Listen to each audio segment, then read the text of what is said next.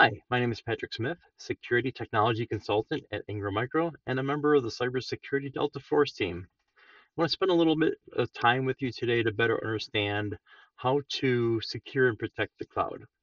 Now, if you've seen our two minute video on securing and protecting the cloud, we talked about the need for CASB and how a CASB can help to secure and protect the cloud.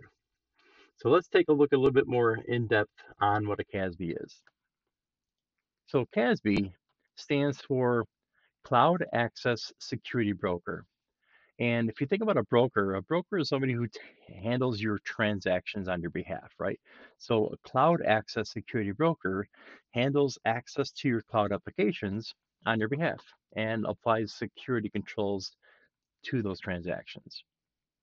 So if we take a look at cloud applications, there's a couple different types of cloud applications. The first of which are called sanctioned applications.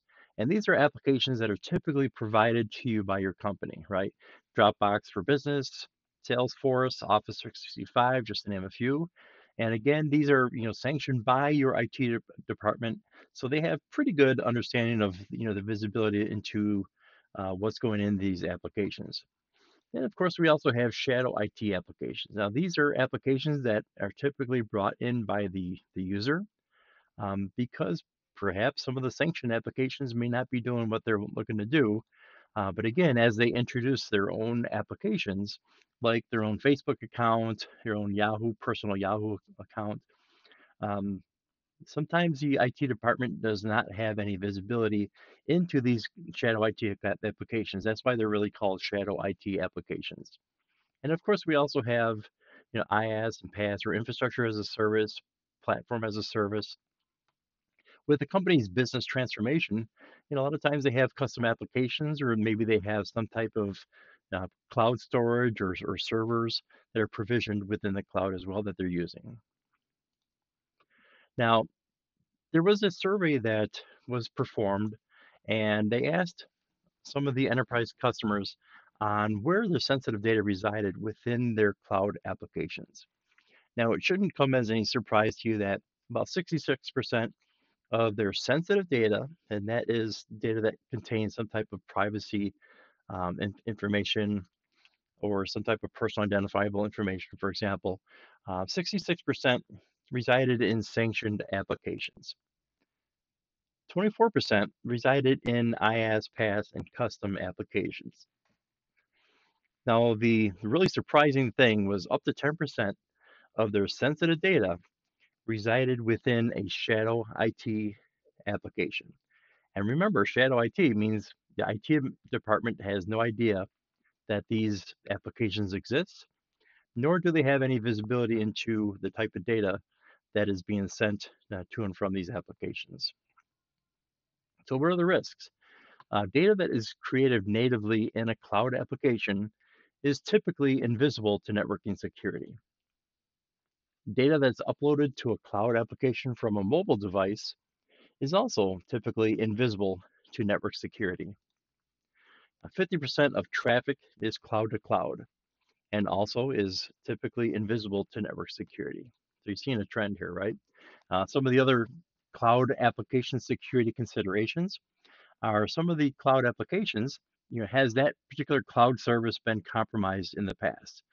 In other words, if they've been compromised, maybe there's usernames and passwords that are out there in the wild. Does that application allow for anonymous access? So if you're storing sensitive data in some of these cloud applications, you certainly don't want to have an application allowing anonymous access or not allowing anybody to have access to that, that sensitive data. Is the data encrypted? Do they encrypt it in transit, going from the device to the cloud application? Is it encrypted at rest? Does that cloud application require multi-factor authentication? In other words, you know, just having a password would get you into, you know, most of the applications. Well, multi-factor authentication means you need not only a password, but you also need maybe a mobile device that's registered to that particular uh, user. So it's something that they know as well as something that they have. Does the application require uh, meet uh, regulatory compliance? And and the big one is, you know, does that IP ownership stay with the customer or does it transfer over to the service provider? Now, one of the, the there's a PDF conversion utility that if you use that particular cloud application to convert your document to a PDF, if you don't read the T's and C's or the fine print,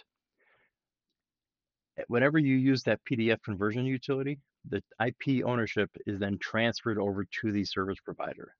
In other words, all your intellectual property is now being transferred over to the service provider, and that could be a huge security risk. Let's take a look and see how a CASB is typically implemented.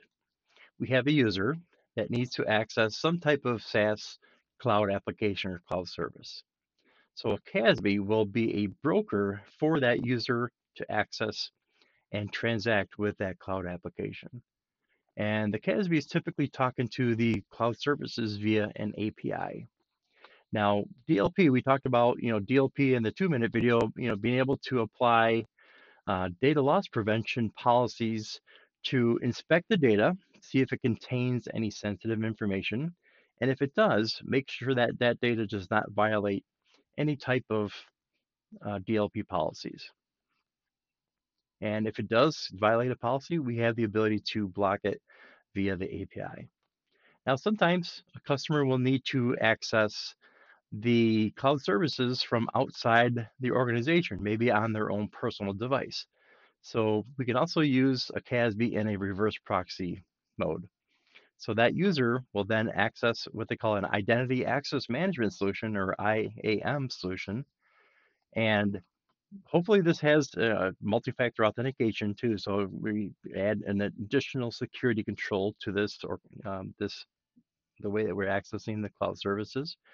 And then the IAC, the Identity Access Management solution will then communicate with CASB and integrate with CASB, and again apply the same DLP policies to inspect the traffic and make sure that it doesn't violate any DLP policies. So with a CASB, it helps us to, first of all, identify the type of data, right? It lets us gives us visibility into um, the, the types of devices that are connecting, the users that are connecting, as well as the type of data that is being sent to these cloud applications. And by getting visibility, we then have the ability to have control, right? So uh, it gives us the ability to take real-time actions. So if anything does violate any type of policies, we have the ability to take control and block that from taking place. And then by doing that, it gives us the ability to apply persistent protection across our entire organization.